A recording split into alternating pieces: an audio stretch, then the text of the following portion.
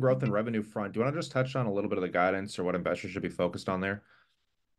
Yes. Um, we're We're talking with a lot of groups at the moment, and we get a tremendous reception because of how we built it. If you think about what a standard lab does, it goes to find a single patient, Um, single doc, single patient, gets a single lab test, and that's the end of it. Um, it's a lot of money to actually go out and find these on a constant basis.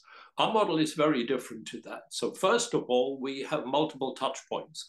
So instead of, a, um, for example, a 949 price on Aristotle, we'll get Aristotle plus a AVERT, we get the follow-ups, and in actual fact, we're looking at more like 2,400. And so in addition to that, the patients then come back to us quarter after quarter and perhaps year after year.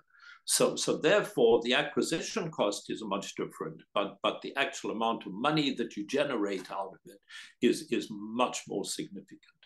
Um, so those those are the things we're doing. The other piece that people need, need I think, to bear in mind is that you can't work with employers without the setup that we have. And this is just proving to be more and more obvious as we move further down. We're getting to work with people purely because we have this as a setup.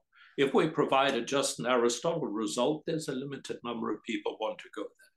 You have to have the follow-up, you have to have the AVERT piece, you have the to have the oncologist, you have to have the physician oversight, the ability to prescribe, the ability to give the results back, the ability to refer, the ability to have interventional programs. Again, all of those are revenue points.